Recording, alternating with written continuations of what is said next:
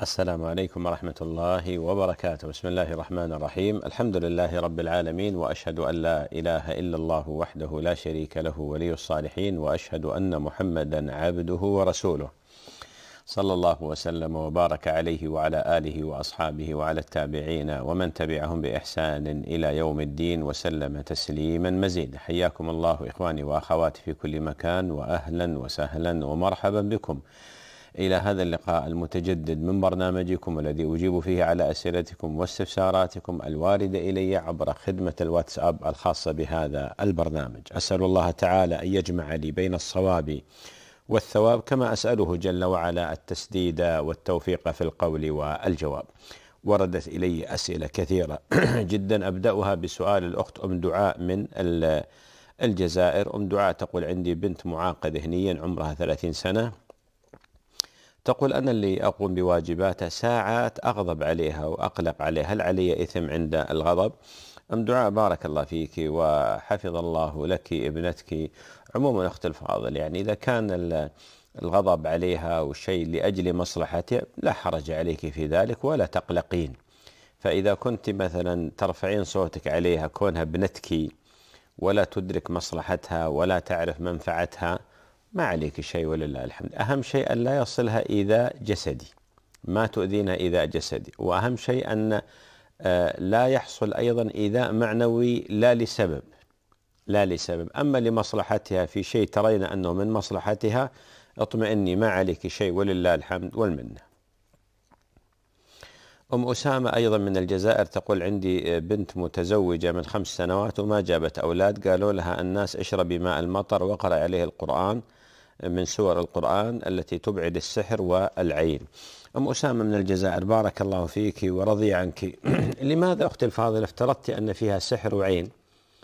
يعني أنا أسأل لماذا افترضت أن في ابنتك سحر أو عين؟ من خمس سنوات. أنا أعرف أناس نساء من أقاربنا عشر سنوات و12 سنة ما حملوا ورزقهم الله عز وجل أولاد. يوجد من الناس في نساء سبع سنوات ست سنوات في نساء ثلاث سنوات. فما في داعي يا أخت الفاضلة أنكم تعيشون مثل هذه الأوهام. حاولوا أن تكنسوا وتزيحوا عنكم مثل هذه الأشياء. هذا أمر طبيعي. تراجع المستشفى تراجع الطبيبة. وهذا ما يمنع من الرقية أخت الفاضلة. فالرقية نافعة ولله الحمد. تقرأ على نفسها الفاتحة تقرأ على نفسها آية الكرسي تقرأ على نفسها القواقل الثلاث الأخيرة من سور من سور القرآن. هذا كله مشروع ولله الحمد والمنة. فلذلك ابعدي عن يعني مخيلتك فكرة السحر والعين. إذا تقولي لا وجد شيء يدل على ذلك في هذه الحالة عليكم بالرقية الشرعية. أما ماء المطر فما في نص لا أصل لمثل هذه المسألة. تقول والله قالوا اشربي من ماء المطر. ما في دليل لا من قرآن ولا من سنة ولا من عمل صحابة. الثابت عن النبي عليه الصلاة والسلام أنه كان إذا نزل المطر حسر عن ثوبه. يعني يكشف شيء من بدنه. ولما يسأل في ذلك يقول إنه قريب عهد بربه إنه قريب عهد بربه. هذا هو بارك الله فيك. ولذلك صحيح أنزل الله تعالى الماء مباركا آه، وأيضا آه، طهورا. لكن ما في نص يدل على أن المرأة اللي تأخر حملها أنها تشرب من ماء المطر. يحتاج إلى نص لأن هذا أمر ما, ما يجوز للإنسان أن يخترع من عند نفسه. بارك الله فيك. الأخت فاطمة من ليبيا بارك الله فيها تقول بأن آه، صاحب أخوها أعطاه 300 دينار وقال له أعطي, أعطي هذه المبالغ لمحتاج. تقول أخوي أعطاهم لأمي وقال أعطيهم لجيراننا. أمي قالت لا أنا أريد أخذ منهم لأن أمي حتى حتى أمي محتاجة. قال لها خذي خمسين دينار. قالت أمي آخذ مئة دينار. الآن الوالدة تسأل هل عليها ذنب؟ فاطمة بارك الله فيك. أولا بالنسبة لأخيك يده يد أمانة. الآن صديق الأخ لما أعطاها المبلغ خلاص برئت ذمة صديق الأخ. أصبحت ذمة أخوك هي المشتغلة بهذا المال. ويده يد أمانة. ولما قال له أعطها محتاجين يجب عليه أن يعطيها محتاجين. الآن راح أعطاها والدته فوال الآن انتقلت من ذمة أخوك إلى ذمة الوالدة. فكون الوالدة تعتدي على هذا المال تقول أنا محتاجة أيضا هذا لا يجوز لها. لماذا؟ لأن صاحب المال ما قصد آه، والدة والدتك أنت ووالدة أخيك ما قصدهما. ولذلك أخت الفاضلة يجب على الوالدة أن تخرج المئة دينار هذه للمحتاجين لأنه ليس لها الحق. هي وكيل الآن. الآن أخوك في المقام الأول وكيل ثم انتقلت الوكالة إلى أمك. ما يجوز للوكيل أن يتصرف في مال الموكل ب ب لمصلحته هو. فقولي له هذا الكلام إلا في حالة واحدة يقوم أخوك فيستأذن صاحبه يقول والله الوالدة أخذت 100 دينار لأنها محتاجة. هل يستطيع؟ إذا استطاع يقول له. إذا لم يستطع يقول الوالدة لابد من إخراج المئة دينار للمحتاجين. مصطفى من العراق يقول يا شيخ ابن جارنا خطب بنت وبعد الخطوبة بسنة تركها وأريد أن أتقدم للبنت وأنا متردد لأن جارنا أشوفه دائما ويعني أريد نصيحة. مصطفى من العراق بارك الله فيك. أولا بالنسبة لي هذه المسألة من حيث الحكم الشرعي يجوز لك أن تتقدم لهذه البنت بعدما تركها ابن جاركم ابن ابن الجار لما تركها خلاص أصبحت الآن آه، يعني آه، حلال لك من حيث التقدم إليها تخطبها من أهلها. هذا الأمر الأول. ما في أي مشكلة شرعية. المسألة الثانية هي مسألة أخلاقية مسألة آه، يعني من الأدب مثلا أنك تستأذن يعني. حتى لا يعني قد يكون المشكلة من البنت وربما يفسر خطبتك لها تفسير آخر. ما تدري. ولذلك أنت ممكن ما دام تشوف ابن جارك دائما ممكن إنك مثلا تشاوره تقول والله أنا راغب في الزواج تنصحني ببنت مثلا أذهب إلى أين؟ تحاول إنك تعطيه فكرة رغبتك في الزواج. فلعله يقول لك والله أنا تركت هذه البنت وطيبة عندي ظروف عندي كذا عندي مشاكل عندي كذا. ممكن.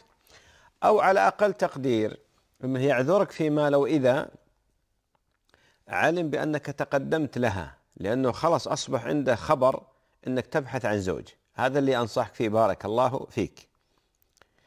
أحمد من اليمن آه، يقول الوالدة أعطاها أخوي فلوس حق الزكاة وتوزعها للمحتاجين فأعطت المحتاجين وبغت فلوس وأعطتها لعماتي وخ... وبقيت عفوا فلوس وأعطتها لعماتي وخالاتي وجداتي. هل يجوز؟ آه هذا الفعل. يا أحمد من اليمن. بارك الله فيك. تقول بأن أخاك أعطى والدتك مبالغ مالية هي زكاة وتوزعها الفقراء المحتاجين راحت أعطت المحتاجين وبقيت مبالغ وزعتها على عماتك وخالاتك وجداتك أو جدتك هل هذا الفعل جائز؟ أولا أخي الفاضل آه، قبل قليل تكلمت في جوابي على الأخت فاطمة من ليبيا في أن الإنسان إذا آه، وكل بتوزيع مال يجب عليه أن يكون أمينا ولا يجوز له أن يتصرف لمصلحة نفسه ولا أن يحابي في هذا المال فيعطي قريب أو صديق أو حبيب ما يجوز هذا الكلام. أرجع الآن بالنسبة لعمتك وخالتك. آه، هل هما محتاجتان؟ يعني يستحقان الزكاة؟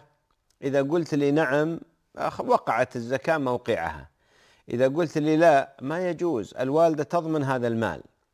أما الجدة الجدة ما تعطى من زكاة الابن الابن ما تعطى من زكاة الحفيد لأنه يجب عليه كما يجب على والدتك أن تنفق على أمها. ولذلك أخي الفاضل بالنسبة للجدة المال الذي وصلها لا يحل ويجب على آه، الوالدة أن تضمن هذا المبلغ. بالنسبة للعمة والخالة على ما هما عليه من حالة فإذا كان كانتا فعلا مستحقتان للزكاة وقعت موقعها. الحمد لله. إذا كانتا غير مستحقتا للزكاة فإن الوالدة تضمن هذا المال إما بإرجاعه وإعطائه الفقراء والمساكين وإذا ذهب المال الوالدة هي التي تضمن هذا المال وتخرج مقابل الفقراء والمساكين. عبد الله من إيران يقول عندي سؤال ما حكم من يفتش سلعة الغير؟ هل هذا جائز؟ عبد الله بارك الله فيك. بالنسبة للإسلام جاء باحترام الخصوصية ومن جملة الخصوصيات أغراض الإنسان وبضائع الإنسان. ما يجوز للإنسان أن يعتدي عليها بالتفتيش والتنقيب والفحص لا لسبب. أما إذا وجد سبب نعم. يعني مثلا أنت بعت شخص كرتون وقال لك لا أريد أن أفتشه معه الحق. بعت شخص كرتون في أغراض وقال لك أبغى افتشه معه حق. بعت شخص مثلا آه، كيس مغلف في أغراض في شيء قال لك لا لازم اشوفه معه حق. أما قضية شخص جارك مثلا في في الدكان يعني يتلصص وينظر ويفتش ويحاول إنه يفحص لا هذا ما يجوز. هذا من الاعتداء. ولا يجوز الانسان أن يفتش بضائع غيره لا لسبب ولا لحاجة ولا لضرورة. أما إذا وجدت ضرورة وحاجه أو هو يتعامل يتعامل معك مع الحق إنه يفتش. فتنبهوا لهذا. بارك الله فيكم. أم سارة من العراق تقول سمعتك في حلقة من الحلقات تتحدث عن هذا الدعاء وتقول قبل أن يسلم من الصلاة اللهم أني أسألك خير ما سألك منه عبدك ورسولك محمد. ونعوذ بك من شر ما استعاذك منه عبدك ورسولك محمد هذا الدعاء تقول يوميا أنا أذكره في أذكار الصباح والمساء وهو اللهم إني أسألك من الخير كل إلى آخر ما ذكرت. أختي أم سارة بارك الله فيك، اولا بالنسبة للأدعية التي قبل السلام بعد التشهد آه، جمهور العلماء يقول يتخير من الدعاء ما ما شاء. يتخير من الدعاء ما شاء يعني من الأدعية السليمة اللي ما فيها أي مشكلة. ومن أهل العلم يقول يتخير من الدعاء ما شاء مما ورد مما ورد. فعموما يعني أنت لو دعوت بهذا الدعاء ما في بأس لكن هذا ما ورد. يعني ما ثبت أن النبي عليه الصلاة والسلام قال قولوا هذا الدعاء قبل السلام. ما ثبت. وما أدري أنت كيف سمعتيني. ممكن أنا ذكرت. ممكن أن يقول اللهم إني أسألك من خير ما سألك منه عبدك ورسولك محمد. وأعوذ بك من شر ما استعاذك منه عبدك ورسولك. ممكن. لكني آه، يعني هل هو حديث ثابت عن النبي في هذا المقام؟ يعني موظف في بعد التحيات قبل السلام؟ الجواب لا. فلو جبتيه ما في بأس بارك الله فيك. أيضا هو والدعاء الثاني اللي اللي ذكرتيه فيما يتعلق ب آه، يعني أذكار الصباح. هذا ليس من أذكار الصباح. اللهم نسألك من الخير كله عاجله وآجله. هذا ليس من أذكار الصباح. بارك الله فيك.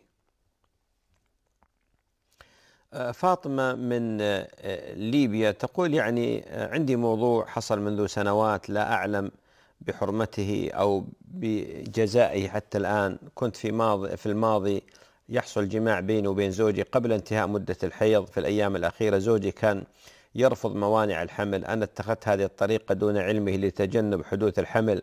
حصل هذا الشيء عدة مرات. الآن فاتت سنوات ومضى العمر. وتوفي زوجي. حياتي الآن مليئة بالمشاكل وأصبحت أتقرب إلى الله وأستمع إلى القرآن كثيرا فأدركت أن ما قمت به غير جائز. وقلت لربما ما يحدث معي الآن بسبب هذا الشيء. سؤالي هو كيف يمكن أن أكفر عن هذا الذنب؟ وهل يوجد كفارة معينة أم ماذا أفعل بالضبط؟ أختي آه، فاطمة من ليبيا لا شك بأن ما قمت به أمر محرم وكبيرة من كبائر الذنوب لأن الله جل وعلا قال ويسألونك عن المحيض قل هو أذى فاعتزلوا النساء في المحيض ولا تقربوهن حتى يطهرن فإذا تطهرن فأتوهن من حيث أمركم الله. فلا يجوز للمرأة ويحرم عليها أن تمكن زوجها في فترة الحيض. وأنت سامحيني جمعت بين ذنبين. الذنب الأول أنك مكنت زوجك أن يأتيك وأن يعاشرك وأنت ما زلت حائضا. والذنب الثاني أنك خدعت زوجك وغشيتيه وكذبت عليه. ولا شك بأن هذا ذنب عظيم. طيب هل في مخرج؟ نعم الحمد لله المخرج موجود والفرج قريب من الله سبحانه وتعالى. ما هو؟ التوبة إلى الله عز وجل. أنت تبت إلى الله سبحانه وتعالى واضح عليك الندم وأصبحت الحمد لله من أهل القرآن أصبحت من أهل قيام الليل أصبحت من أهل ذكر الله. هذه نعمة وهذا إن شاء الله علامة قبول بحول الله. هذه علامة قبول بحول الله. الأمر الثاني كثرة الدعاء والاستغفار لزوجك. أكثري له من الدعاء أكثري له من الاستغفار. وزوجك ما عليه ذنب. لماذا؟ لأنه ما يدري. أنت اللي تعلمين أما هو لا يدري. فأكثر له من الدعاء والاستغفار وإذا استطعت أن تتصدقي عنه أو تجعلي له وقف مثلا أيضا هذا جيد. فيعني ما عليك إلا هذا ما عليك إلا هذا. طبعا هناك من أهل العلم من يوجب آه، كفارة. وهي آه، آه، يعني تخرجين مبلغ مالي آه، بسبب الجماع اللي حصل في الحيض. الجماع الذي حصل في الحيض. طبعا جاءت روايات عن ابن عباس أنه دينار وجاءت رواية نصف دينار. والمقصود بالدينار الإسلامي. المقصود بالدينار الإسلامي. بارك الله فيك. عموما أنت التوبة كافية ولله الحمد لكن ممكن تخرجين مال بهذه النية. تخرجين مال دائما تتصدقين بهذه النية على الفقراء وعلى المساكين.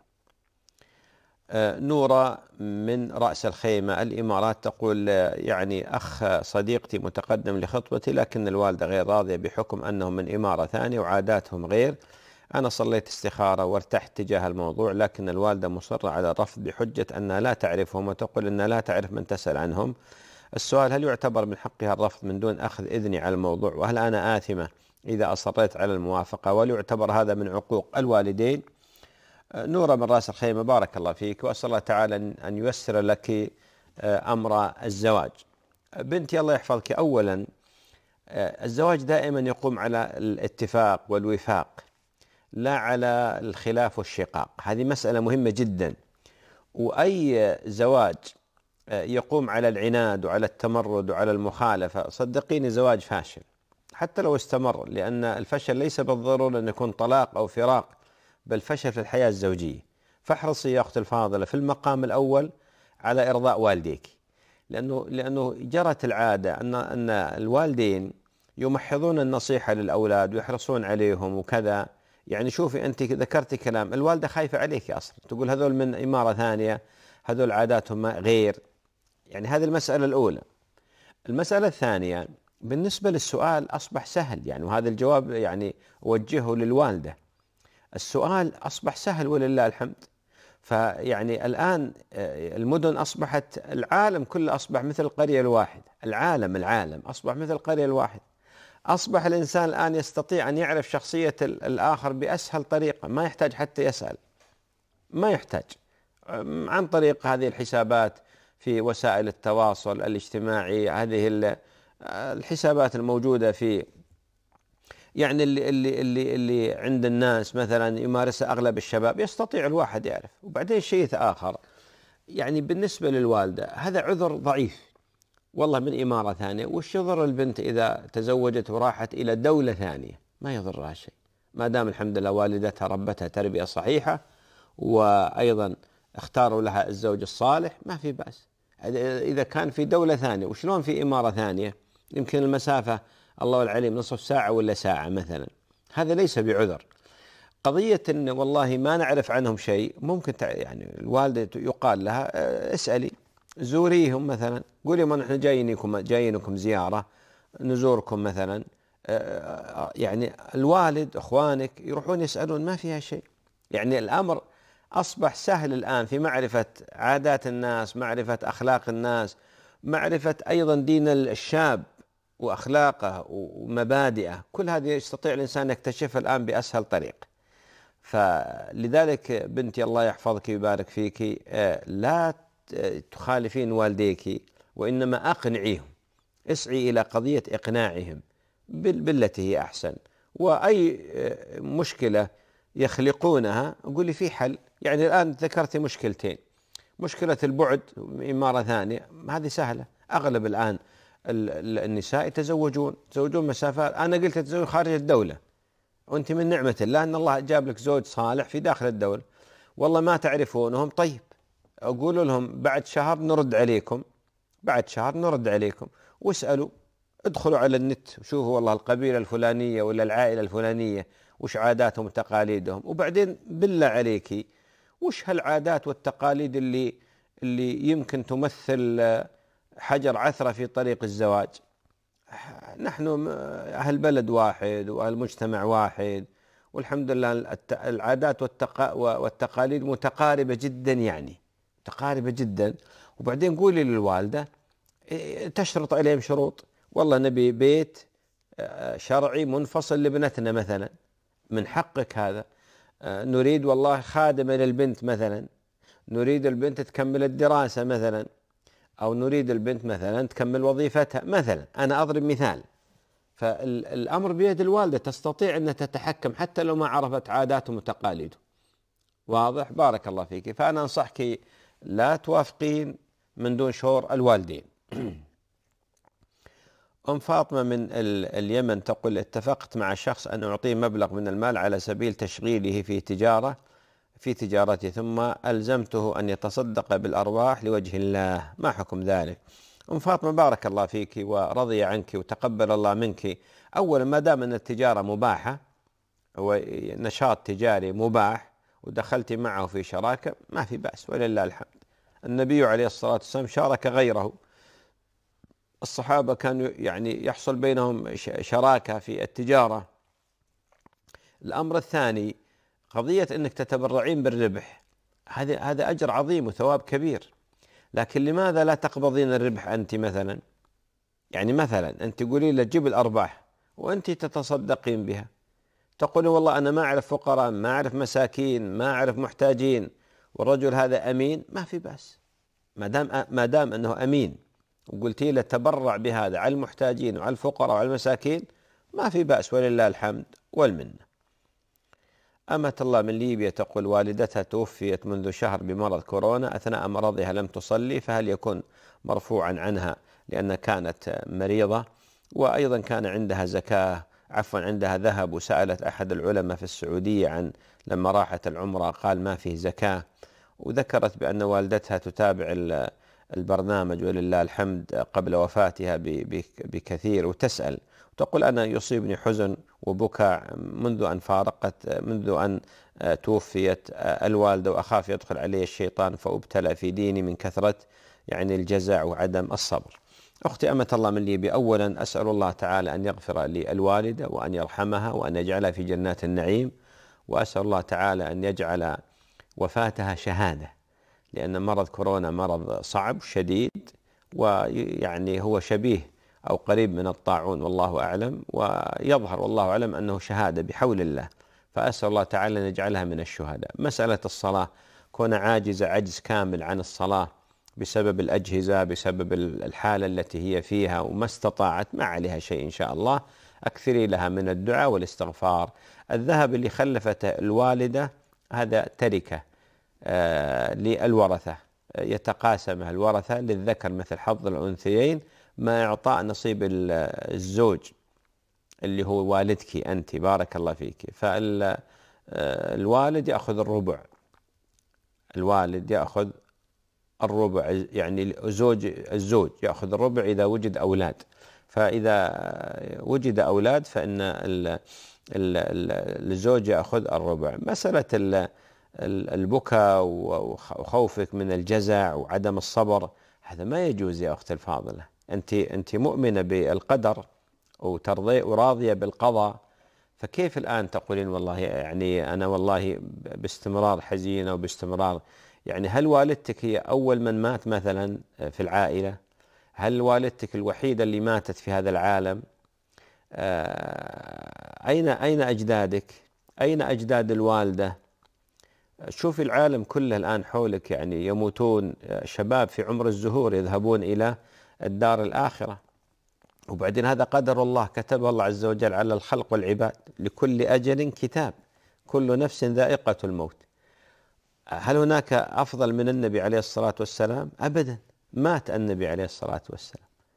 ولذلك الإنسان إذا أراد أن يتسلى بمصيبته يتسلى بذكر وفاة النبي عليه الصلاة والسلام. هذه خفف وطأة الحزن والألم اللي, اللي في قلبه. وماذا تستفيد الوالدة من حزنك الآن وبكائك؟ ما تستفيد شيء بل, بل قد تضرينها أنت. لذلك الوالدة تستفيد من أشياء منها أنك تدعين لها باستمرار تستغفرين لها. وأيضا تنفذين وصيتها إذا أوصت. وتصلين الرحم اللي ما توصل إلا بها خالاتك وعماتك وخالاتك وأخوالك ها؟ وأيضا تكرمين صديقتها. وتتصدقين عنها بما تستطيعين. بارك الله فيك وأسأل الله تعالى أن يجعل والدتك في جنات النعيم. آه، أم هشام من اليمن تقول يا شيخ آه، آه، عند عند الولادة كانت تقول لي الوالدة تقول كانت تقول لي قبل وفاتها تقول غسليني أنت يوم أموت لأنك أنت القوية من بناتي. ولما حصلت الوفاة ما قدرت أني أقربها وأغسلها مع المغسلات. هل يعني الآن أنا محاسبة؟ أم هشام بارك الله فيك ورحم الله الوالد وغفر الله لها وجعلها في جنات النعيم. طبعا الوالدة أوصتك بأنك أنت اللي تغسلين وأشارت إليك لكونك أنت أقوى البنات. يعني تصبرين وتتحملين وعندك قدرة على يعني مواجهة المصيبة. كان الواجب عليك أنك تنفذين الوصية وتستعينين بنساء معك يعني يساعدونك تقولي والله ما استطعت حصل انهرت حصل عندي انهيار حصل عندي آه، آه، نوبة بكاء حصل عندي حالة ما استطعت. ما عليك شيء ولله الحمد والمنة. ومثل ما أوصيت الأخت آه، قبل قليل من ليبيا أوصيك أيضا بحق الوالدة عليك فيما ذكرته. زهرة أم آمنة من الإمارات تقول بغيت أعرف هل يجوز أن يقبل ابن الزوج رأس زوجة أبيه ويصافحها باليد؟ أختي زهرة أم آمنة من الإمارات؟ الجواب نعم الجواب نعم. يعني بالنسبة لزوجة الأب هذه في مقام الأم ولذلك يجوز للابن أن يقبل رأس زوجة أبوه يصافحها. لماذا؟ لأن محرمة عليه على التأبيد.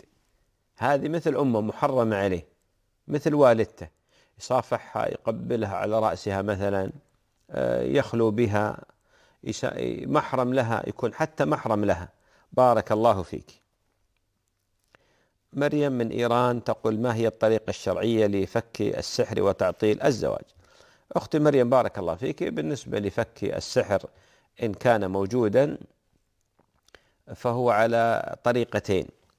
الطريقة الأولى إذا كان الإنسان قد وقع على السحر حصله حصل مثلا عقد حصل آه، شيء من الأشياء فإن الطريقة الشرعية هو فك السحر وعزله عن بعض وتقطيعه مع قراءة الآيات من سورتي الفلق وسورتي الناس. يعني يقول مثلا قل أعوذ برب الفلق. إذا كان عقد ينفث فيها يقول يحلها يقول قل أعوذ برب الفلق من شر ما خلق وهكذا.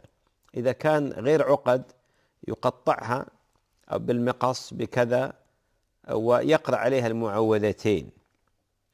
آه، وممكن بعد ذلك يذيبها في ماء أيضا حتى يذهب أثر السحر. إذا كان ما يعرف ما وجد السحر لكن في علامات قالوا له بأن هذا سحر يقرأ على نفسه الرقية الشرعية الفاتحة القواقل الأخيرة مثلا من القرآن مثل قل أوحي إلي أنه استمع نفر من الجن. قل يا أيها الكافرون قل هو الله أحد قل أعوذ برب الفلق قل أعوذ برب الناس. هذه كلها يقرأها على نفسه مع آه، توكله على الله واعتماده على الله وتفويض أمره إلى الله سبحانه وتعالى. وإن شاء الله يجد الإنسان الفرج. عزة من ليبيا تقول ما حكم هذا البيت؟ قول هذا البيت من الشعر دع الأيام تفعل ما تشاء وطب نفسا إذا حكم القضاء. أختي عزة من آه، ليبيا بارك الله فيك. أظن هذا البيت للإمام الشافعي محمد بن إدريس الشافعي آه، رحمه الله تعالى ورضي عنه. والبيت ليس فيه شيء. دع الأيام تفعل ما تشاء فسرها البيت الثاني. وطب نفسا إذا حكم القضاء. والمؤمن مؤمن بالقدر راض بالقضاء. ولذلك البيت فيما يظهر لي بأنه سليم وليس فيه شيء. أم عبد الرحمن من الأردن تقول إذا الواحد ارتكب ذنب وغلط كيف يصلح غلطه ويتوب ويرجع إلى ربه سبحانه وتعالى؟ وكيف الواحد يترك الذنوب مثلا ويتوب إلى الله؟ أختي أم عبد الرحمن من اليمن بارك الله فيك. أولا لا بد أن نعلم بأن كل بني آدم خطاء. كل بني آدم خطاء. قد صح عن النبي صلى الله عليه وسلم أنه قال كل بني آدم خطاء وخير الخطائين التوابون. وجاء في الحديث الآخر لو لم تذنبوا لأتى الله بقوم يذنبون فيستغفرون فيغفر الله لهم. هذا الأمر الأول. الأمر الثاني الخطأ عند الناس يختلف من شخص إلى آخر. فمن الناس خطأه وذنبه في الصغائر واللمم. ومن الناس من خطأه والعياذ بالله في الشرك والكفر والإلحاد. ومن الناس من يقع في الكبائر.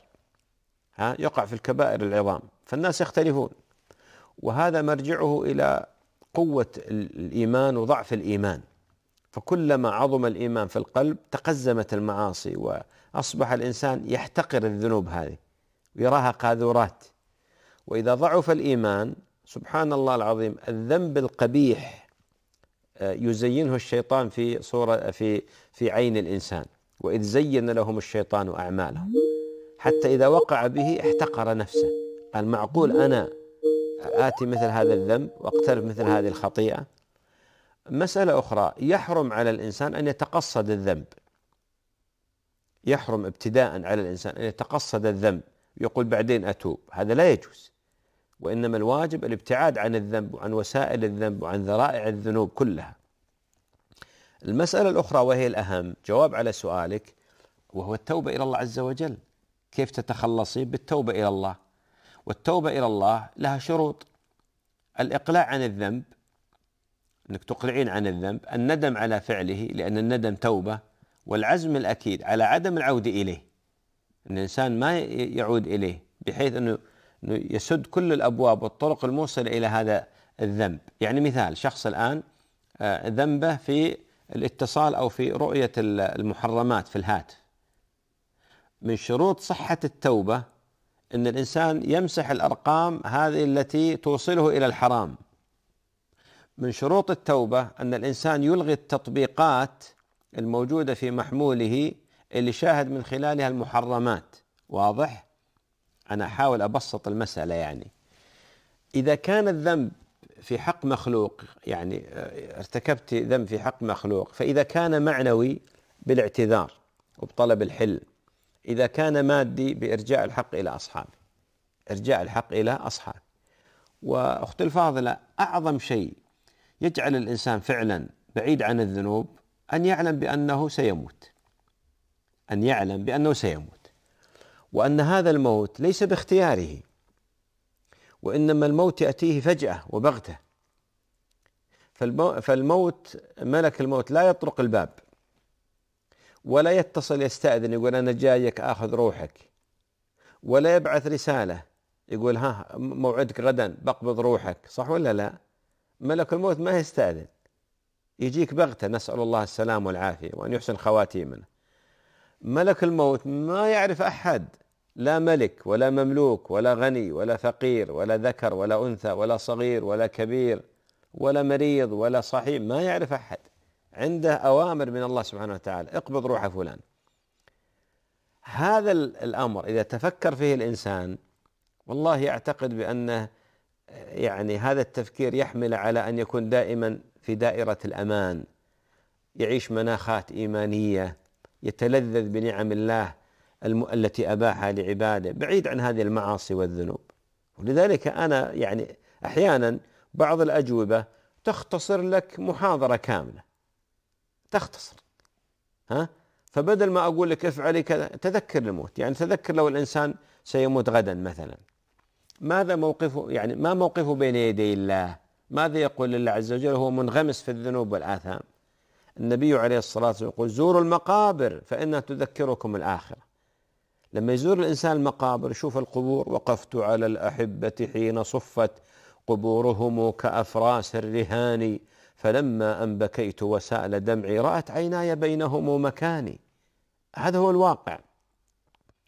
ولذلك تجد الآن اللي يشيعون الجنائز ويرجعون تجد عليهم السكينة والهدوء والتفكير ها؟ وفيه كبح لجماح النفس الملتهبة المندفعة نحو الدنيا ها؟ لكن ينسى الإنسان بعد يوم يومين يبدأ والعياذ بالله يبدأ. فلذلك أختي الفاضل الله يرضى عليك تذكر الموت. هذا هو البلسم الشافي. وبعدين هذه الموت حقيقة. ما يجوز لنا أن نغفل عنه ولا ندس رؤوسنا في التراب ولا نلهي أنفسنا نقول لا لا تكلمونا عن الموت. الموت حق. يعني الإنسان أحيانا مثلا عند الإنسان خيارات معينة يمكن يفعلها أو لا يفعلها. وقالوا لك والله تسافرين؟ تقول لا أسافر أو لا أسافر. طيب تاكلين آكل ولا ما آكل؟ عندك خيارات. تقدرين ترفضين. أه، تدرسين؟ والله ما أدرس. تستطيعين ترفضين. تتوظفين؟ أه، ما ما أتوظف. صح ولا لا؟ الموت ما في خيار. الموت لما يأتي ما يقول لك تموتين ولا ما تموتين؟ لا سنموت كلنا. لأن سيد الخلق مات. وجميع الخلق سيموتون. حتى ملك الموت سيموت. حتى الموت نفسه سيموت يوم القيامة. فلذلك حقيقة يعني هذا أعظم ما يمكن أن أن يوعظ به إنسان أنه فعلا يفكر في هذا الأمر. لأن هذا سيقوده بإذن الله تعالى إلى سعادة. والله سعداء هؤلاء الذين يفكرون في الموت. يعني بعض الناس يقول تضيقون صدورنا أنتم إذا ذكرت الموت. لا والله. يضيق صدر الإنسان اللي يريد الاستمرار في طريق الحرام في طريق الغلط. أما اللي يريد الحلال والله من أسعد الناس. واسمع إلى قول الله عز وجل من عمل صالحا ها من عمل صالحا من ذكر أو أنثى وهو مؤمن فلنحيينه حياة طيبة طيبة ولنجزينهم أجرهم بأحسن ما كانوا يعملون. الحياة الطيبة أنك تعيش تأخذ من الحلال. أباح الله عز وجل لنا أشياء كثيرة وحرم علينا أشياء قليلة. بالمناسبة الحرام ترى قليل جدا أمام الحلال الكثير. لكن بعض الناس يقول لك لا أنتم يعني حرمتوا علينا كل شيء. غير صحيح. الله ور... الله جل هو الذي يحرم ورسوله هو الذي يحرم. والحلال أكثر. الحلال أكثر. أسأل الله تعالى أن يحفظك وأن يحفظ الجميع. أم آمنة من العراق تقول قرأت حديث نبوي شريف مكتوب أن النبي عليه الصلاة والسلام قال براءة من الله حب علي. هل هذا حديث صحيح؟ أختي أم آمنة من العراق بارك الله فيك. أولا بالنسبة لعلي رضي الله عنه هو رابع الخلفاء الراشدين والأئمة المهديين وهو آه، من أحبه الله وأحبه رسول الله صلى الله عليه وسلم. ولذلك علي سيدنا علي إمامنا. علي رضي الله عنه أول من أسلم من الصبيان. علي فضائله كثيرة. علي بركاته على أمة محمد صلى الله عليه وسلم أثيرة. علي رضي الله عنه لا يحتاج منا أن نكذب عليه حتى نقول والله له, له الفضيلة الفلانية. ما في حاجة هذا الحديث لا أصل له. النبي عليه الصلاة والسلام احتضن علي يوم أن آه، أصيبت آه، مكة بمجاعة وأصبحت دخل الفقر على أبي طالب. احتضن النبي صلى الله عليه وسلم علي فتربى في بيت النبوة علي رضي الله عنه. علي البطل الشجاع الذي الذي وقف أمام عمرو بن ود. هذا البطل الذي لا يصمد أمامه أبطال الرجال. علي رضي الله عنه آه، زوج ابنة النبي عليه الصلاة والسلام التي أحب بناته إليه فاطمة رضي الله عنها. علي أبو السبطين الحسن والحسين سيدا شباب أهل الجنة. علي الذي بشره النبي صلى الله عليه وسلم بالشهادة. علي الذي قال النبي عليه الصلاة والسلام لأعطين الراية غدا. رجل رجل يحب الله رجلا يحب الله ورسوله ويحبه الله ورسوله. يكفي هذه التزكية لعلي رضي الله عنه. رجل يحب الله ورسوله. هذا قاله النبي صلى الله عليه وسلم بالوحي لأن محبة الله ومحبة الرسول عمل قلبي فيوجد من المنافقين من كان يظهر محبة الله ومحبة رسوله وقلبه مريض بالنفاق. لكن النبي عليه الصلاة والسلام أوحى الله إليه أن علي قلبه يحب الله ورسوله. هو في في قرارة قلبه. قال ويحبه الله ورسوله. الله أكبر. ليس الشأن في أن علي يحب الله عز وجل. هذا شيء طبيعي. إنما الشأن العظيم أن الله يحب علي. يكفي علي هذه رضي الله عنه وأرضاه. ولذلك اخت الفاضله الحديث عن فضائل علي كثيرة وطويلة ولنا أجوبة كثيرة ومجالس عديدة في ذكر هذا الأمر. لكن بالنسبة لهذا الحديث لا يصح. بارك الله فيك. أم عبد الله الجهني تقول يا شيخ عندنا شبك غنم وجدت لنا عنز صغيرة من الجبل اللي وراء الشبك. أرسلها أرسلنا الراعي يسأل الجيران عنها ويعرف فيها وما حصلنا راعيها ولها عندنا تقريبا سنة وما أحد جاء يسأل عنها. هل يجوز أبيعها وتصدق بقيمتها؟ وإذا ولدت ما حكم أولادها؟ أم عبد الله بارك الله فيك. بالنسبة لي آه، يعني هذه تسمى لقطة هذه تسمى لقطة وتعرفونها مدة سنة كاملة.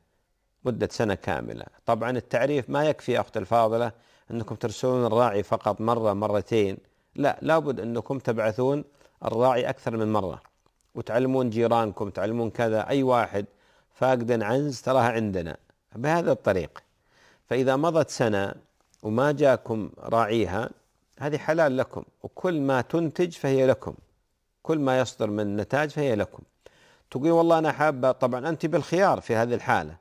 إما أنكم تبيعونها وتحتفظين بثمنها وإما أن تذبحونها وتأكلونها مثلا وتضمنون ثمنها وإما أنكم تبقونها حتى يأتي صاحبها مدة سنة فإذا ما جاء صارت ملك لكم ولله الحمد والمنة. أحمد خليفة من الأردن يقول حكم من يصلي بدون ترك مسافة بينه وبين المصلي الآخر علما أن تعليمات الأوقاف هي التباعد أحمد خليفة من الأردن بارك الله فيك. طبعا الأصل يا أخواني ويا أخواتي التزام التوجيهات الصحية والطبية فيما يتعلق بجائحة كورونا ومن جملة ذلك أن المصلين يحصل بينهم تباعد يحصل بينهم تباعد. المسافة اللي قرروها لأن ذكروا بأن هذا الفيروس إذا ابتعد المصاب عن الآخر بهذه المسافة لا لا يلتقط الفيروس. ولذلك ما دام أن الأمر صدر من الجهات الصحية والطبية وتبنت هذه وزارات الأوقاف والشؤون الإسلامية المختصة برعاية المساجد يعني ينبغي على المصلين أن يلتزموا هذا وما في داعي لمثل هذا العبث ومثل هذا التمرد على التعليمات والتوجيهات. ما في داعي. فإذا كان الشخص عنده شبهة شرعية يقول الصلاة ما تصح لا نجاوب نقول الصلاة صحيحة. لأن الجمهور العلماء يقولون التراص بين المصلين سنة وهناك من يقول واجب على فرض على فرض. أنا ما أتبنى أقول على فرض قول بأنه واجب فإن الوجوب يسقط بالعجز. وليس هناك عذر مثل مسألة المرض في اللي تفرض مسألة التباعد. فأنا أنصح إخواني هؤلاء اللي يعني يحاولون أن يتمردوا على هذه التعليمات أن يربكوا المصلين أن يتقوا الله عز وجل. فإذا يا أخي الفاضل أنت عندك مشكلة صلي في البيت ولا تؤذي المسلمين. صلي في البيت ولا تؤذي المسلمين. الإمام الآن سيحاسب المؤذن سيحاسب وأنت السبب. أنت ستربك الناس وتحدث فتنة. يعني في ناس يقول لك بيقول لك ليش اقتربت مني مثلا؟ فترد عليه ويرد عليك وأصبح المسجد بدل ما يجمع الناس يجمع أبدانهم وقلوبهم أصبح ينفر. هل هذا يليق؟ فكف شرك عن الناس صلي في بيتك. ولا تأتي المسجد ما دام أنك غير مقتنع بهذه المسألة. وصلاتك إن شاء الله مقبولة في البيت.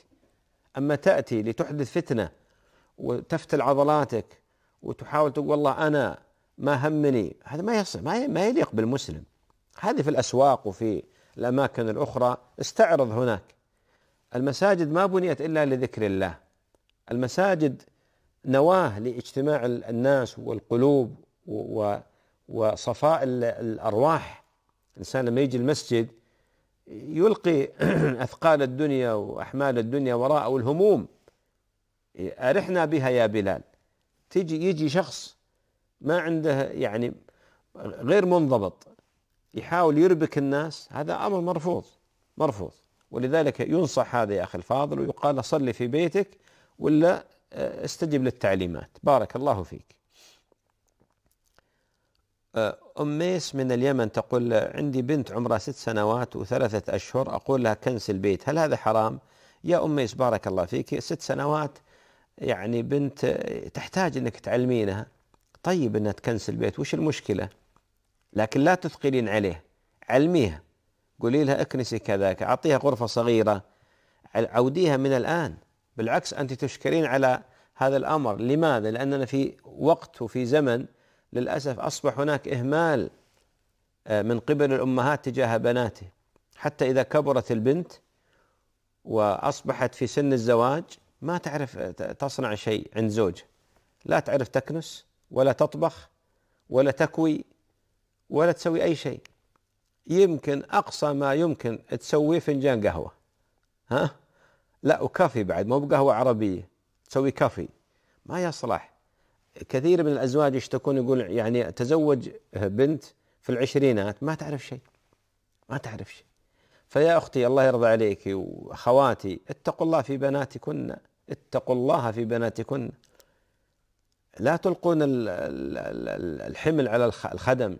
الخدم يشتغلون لكن عطوا بناتكم فرصة يتعلمون. ما تأتي يعني تنتقل إلى بيت زوجة وهي ما تفهم شيء ولا تعرف شيء. هذا غلط. هذه تسبب نفرة بينها وبين زوجها. ولذلك علميها بس لا تثقلين عليه ولا تحملين ما لا تطيق. واسألي أمك واسألي جدتك كيف كانوا هم في مثل هذا السن.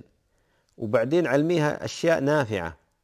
وإذا كبرت صارت سبع سنوات ثمان سنوات خليها دخليها معك المطبخ.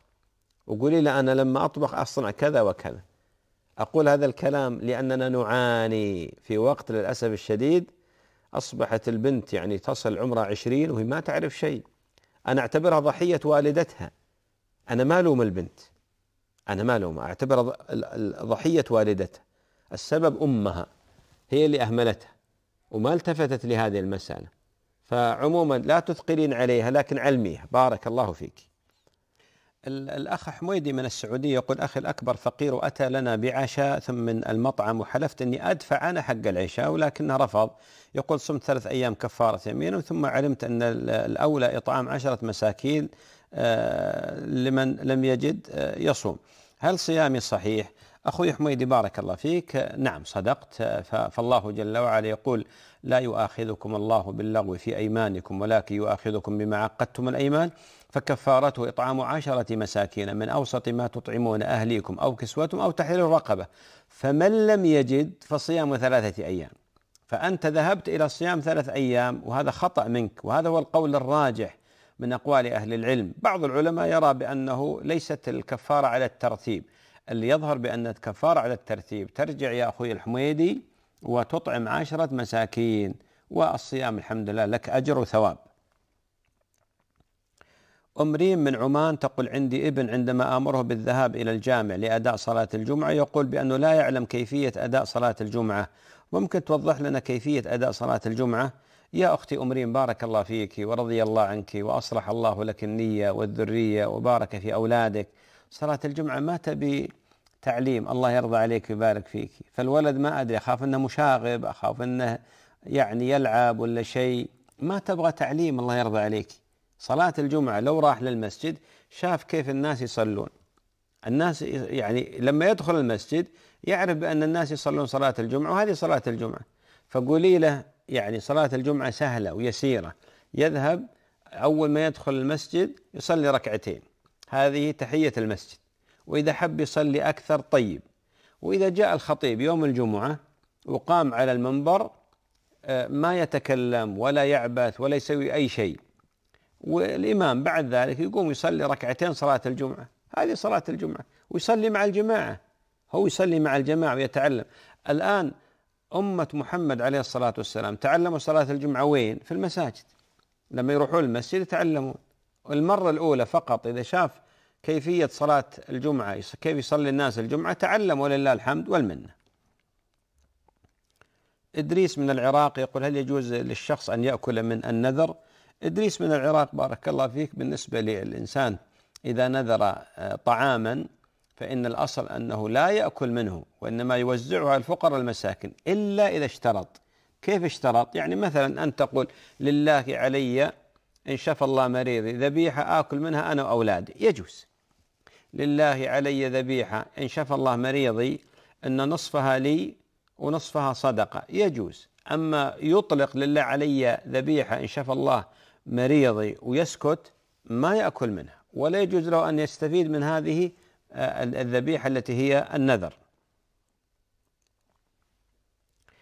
أم مريم من الإمارات بارك الله فيها تسأل تقول يعني ما هو حكم إزالة تحدب الأنف فقط أو ما يسمى بنتوء الأنف؟ إزالة عظمة الأنف الزائدة من دون تصغير الأنف أو رفعه. أختي أم مريم من الإمارات بارك الله فيك. بالنسبة للإنسان إذا كان يعاني نتوءات في أنفه وقد سببت له مشاكل مثلا في عملية التنفس سببت له مشا... سببت له مشاكل في مسألة النظر لأنه أحيانا قد يكون النتوءات هذه آه، تسبب للإنسان آه، مشاكل في مسألة النظر فلا يستطيع أن ينظر إلى الأمام إلا بعين واحدة وإذا أراد يلتفت التفاتة كاملة كما هو معروف وشرح لنا هذا الأمر فيجوز في مثل هذه الحالة. يجوز للرجل أو للمرأة أن يزيل عظمة الأنف التي هي ناتئة وظاهرة وبارزة ومسببة للإنسان مشاكل صحية مشاكل في التنفس في النظر فيها أيضا تشوه في صورة الإنسان مثلا. يجوز أن يرجع الأنف إلى شكله الطبيعي وقد أحسنت حينما قلت لا نستعمل قضية التصغير ولا التكبير وإنما هو علاج. هذا نوع من أنواع العلاج. أم قصي من اليمن تقول هل يجوز أن أصلي صلاة الفجر إذا فاتتني وقت طلوع آه، الضوء؟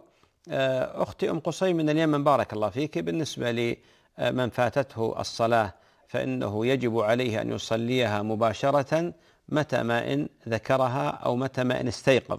وذلك لما صح عن النبي صلى الله عليه وآله وسلم أنه قال من نام عن صلاة أو نسيها فليصليها إذا ذكرها لا كفارة لها إلا ذلك.